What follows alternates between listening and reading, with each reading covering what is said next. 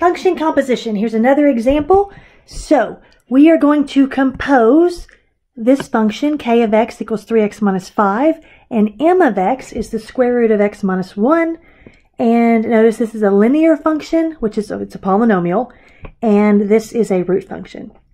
So then we're going to find the domain, and to find the domain of a composition of functions, I've given you f composed with g of x. We know that's the same as f of g of x. This says to find the domain of the inner function, g of x, and the domain of the final result, and then put them together. So we'll do that when we solve this, find this composition.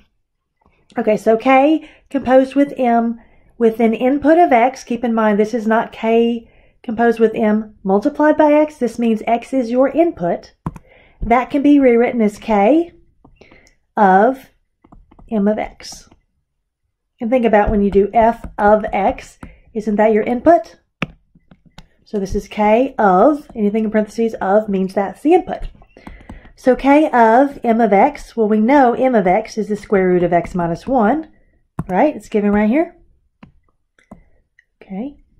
But now we've changed the input of k. k did have an input of x, right? We have replaced this x right here with something more interesting, which means we're going to have to replace this x right here with something more interesting. Okay, if this is hard for you, I encourage you to go over to the side and let's do some scratch. This has nothing to do with the problem. We are just plugging in values so we can sort of see a pattern. Okay, so what's k of 5? Well, that means 3 times 5 minus 5. We've replaced the input of x with the 5, so I replace it here as well. We're not going to simplify. This is just so we can see a pattern. k of 58. Well, that's 3 times my new input, which is 58, minus 5. k of 167. Well, that's 3 times the input of 167 minus 5. That's what k does, right? Takes the input and multiplies by 3, then subtracts 5. Again, if you're wondering where these numbers are coming from, I'm pulling them out of the air to demonstrate something. So what's k of 1001? Well, that's 3 times 1001 minus 5, right? Okay. What is k of negative 18.1? Well, that's 3 times negative 18.1 minus 5, right? I know you're getting bored. That's the point. What's k of 41? Well, that's 3 times 41 minus 5. So what's k of the square root of x minus 1? Oh, that's 3 times the square root of x minus 1 minus 5. If you do enough of these, you're going to hear yourself, especially if you say them out loud and listen to your voice, you're going to hear the moment when you kind of get bored and your brain shifts from just thinking about this directly to autopilot. And that's what we want. You're going to eventually just be able to look at, oh, I see how to do this. Sort of turn your brain off and don't get in your own way. Okay, so then k of the square root of x minus 1 is just this. It's 3 times the new input minus 5, right? Okay, and that's as simplified as we can get it. You cannot simplify that further, please don't try. So k composed with m, and the input is x, is the same as 3 times the root x minus 1 minus 5. Let's find the domain. So for domain, I told you you check two places, right? You check, check the inner function. So we check here. And then you check your final simplified result. We check there. So for domain, we see that square root of x minus 1. Let me actually write that as number 1. We're looking at the square root of x minus 1. We find the domain of that. Well, that's a root function right? There's a radical. So we make sure that our radicand, isn't that a fun word? Radicand. Radicand is the expression that's under your root. Our radicand is not negative. Remember, we classify numbers three ways according to sign. Positive, zero, and negative. You're allowed to take an even root of a positive number. You're allowed to take an even root of zero because zero to any power is zero. But we can't have a negative under here that leads us to those complex or imaginary numbers, right?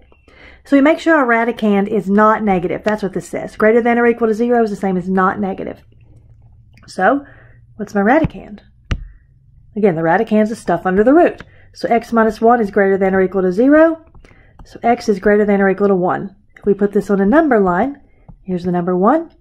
And it says greater than or equal to, so we put a closed circle on 1 and we shade this way. Okay, now we take our simplified result. 3 times the square root of x minus 1 minus 5, and we find its domain. Well, again, the only thing exciting here is that root. So this is going to be exactly the same. The radicand has to be greater than or equal to 0. So x minus 1 is greater than or equal to 0. x is greater than or equal to 1. So our number line looks exactly the same. We get the same restrictions. If they were different, you would look at the intersection of the number lines, but they're not. If I, I can draw it again, but if I draw the number line, they're going to be the same thing. So the domain of this guy is this stuff, right? You can see what I'm doing. This stuff. And normally you write it in interval notation. So the smallest input value I'm allowed to use is the number one. And I'm allowed to use it, so I put a bracket. And I go all the way up to infinity. Infinity gets a parentheses because it's a concept. Okay, let's try the other one. Let me just scroll down, give myself plenty of room. So we're still going to do composition of functions. Now we're going to do m composed with k with an input of x. As a reminder, k of x was 3x minus 5, m of x was the square root of x minus 1. So we rewrite this, m composed with k with an input of x is m of k of x. Or m of, well, instead of k of x, we can call that 3x minus 5. Right? Okay, so let's do some scratch. Again, the scratch is not required. If this is hard for you, I encourage you to do it, but you don't have to. So what we're doing is replacing every x here with this new x. This x has been replaced with 3x minus 5. That means this x has to be replaced with 3x minus 5. If you already see it, go ahead and write it down. If you do not, that's what we're doing the scratch for, to kind of help you see these patterns. So m of like 100. Well, that's the square root of 100 minus 1.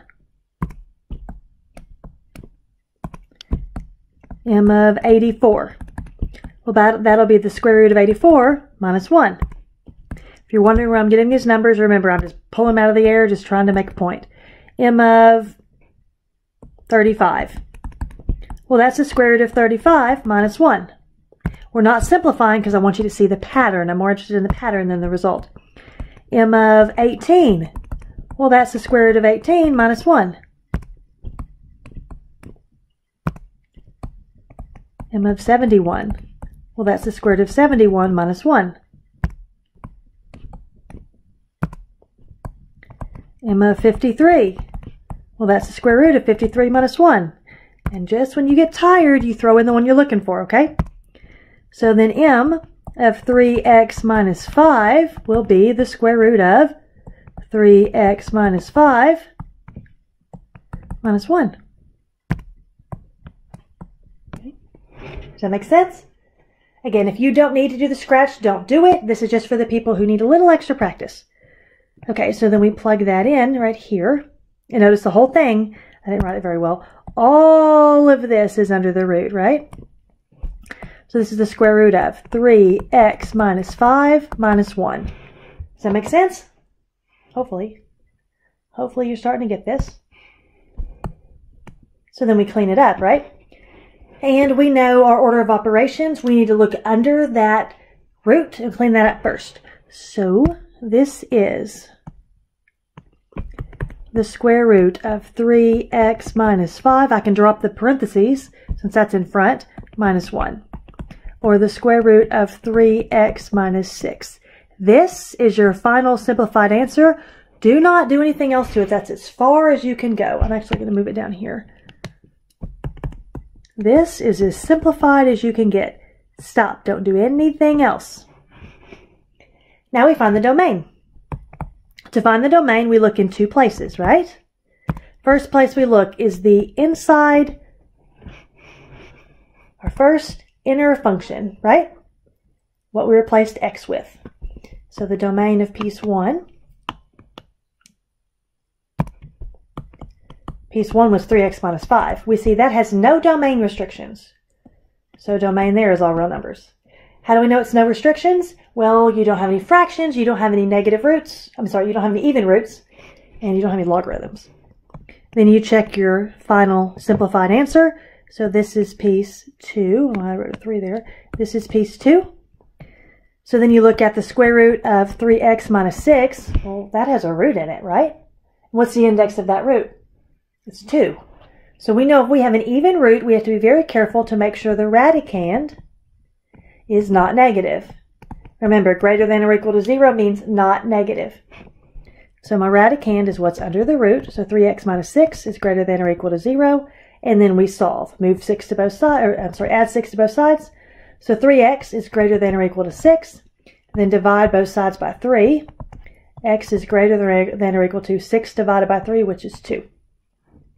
So the first piece, we had a whole number line, all real numbers, no restrictions. We were allowed to plug in everything. The second number line we're looking at we're looking at the number 2. We're allowed to plug in 2, but nothing less than that. Only bigger, right? So this was all real numbers. This is x greater than or equal to 2. What do those two things have in common? This side, right? So the domain of, this was m composed with k, of x is, I'm going to use interval notation. Let me actually do it up here. From 2 to infinity, 2 gets a bracket because we're allowed to plug in 2, right? It has an equal sign. And then we go all the way up to infinity. Infinity gets a parentheses because it's a concept. We'll never actually get to infinity. Okay?